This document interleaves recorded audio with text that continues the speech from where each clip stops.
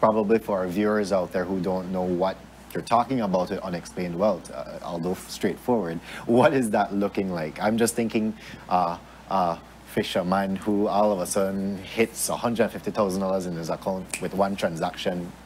But what is unexplained wealth for people? Well, it, it, uh, as the director just said, that there are, there are certain triggers on the unexplained wealth side. Mm -hmm. So that there has to be an investigation by a law enforcement body first.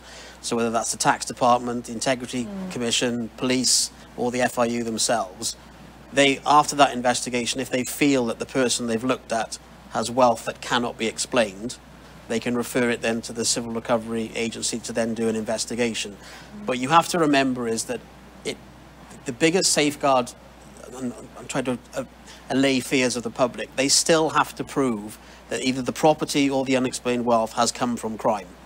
They can't just say, oh, we suspect. We suspect. Ah. You've got too much money and I can't see where it's come from. That's not enough. They've still got to link it to some sort of unlawful activity. So what it's there to do is basically to highlight that crime doesn't pay and it shouldn't be seen to pay. Mm -hmm. So everyone will know someone who appears to be living a lavish lifestyle without having any legitimate income. Um, and the Act is, is there, to, as, as Lenny just said, to target those cases which you can't get through the criminal sphere.